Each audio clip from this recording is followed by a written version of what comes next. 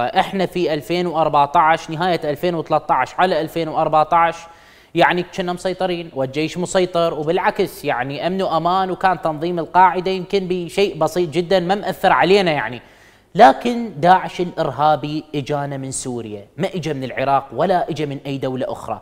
الخوف هنا سيدي الكريم أمريكا اليوم يعني الأكراد خلاص بطلوا يوثقون بالأمريكان بعد تصريحات ترامب وانسحابه من الموضوع، الأتراك بطلوا يوثقون بالولايات المتحدة الأمريكية، العراق نفسه عنده تحفظات، الكتل السياسيه عندها تحفظات على الولايات المتحدة الأمريكية، بالتالي ما نعرف إذا صح أو غلط هذا الموضوع شنو اللي سووه كافي أم غير كافي، فبالتالي البعض يشوف الأسلم للمنطقة على الأقل. هذول الرؤوس الكبيرة لتنظيم داعش الإرهابي يجب أن تتم مراقبتهم بشكل مضبوط وإدخالهم.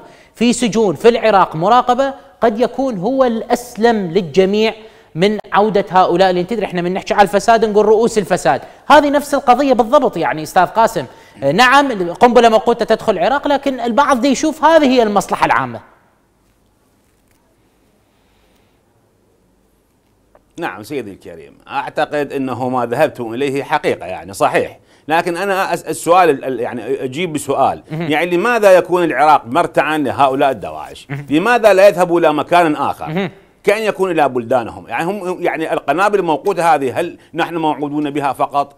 يعني صح الجيش العراقي المؤسسة الأمنية العراقية الحشد الشعبي العراقي تعامل مع هذه المجاميع الإرهابية بصرامة وبدقة آه، رائعة ويعني وانتصروا عليهم لكن هذا لا يعني أنه السجن مفتوح إلى ما لا نهاية من الزمن أه. سيدي الكريم هنالك اتفاقات تحت الطاولة هنالك حقيقة يعني صفقات تجري في الغرف المغلقة بين الدول يعني المحدودية مع العراق بين سوريا وبين روسيا وبين تركيا وبين الأكراد وبين الأمريكان جميع الأطراف هذه مشتركة حقيقة يجب أن تتحمل مسؤوليتها. يعني ليس من المفروض أن يتحمل العراق وحده. يعني ما الذنب الذي اشتراه اشتراه العراق لكي يعامل بهذه الطريقة؟ نحن قاتلنا نيابة عن العالم قاتلنا المجاميع الإرهابية آه، آه، انتصرنا عليهم. لكن هذا لا يعني إنه نحن ملاذ لهم اي أي وقت يعني يأتون بهذه المجاميع والدخول إلى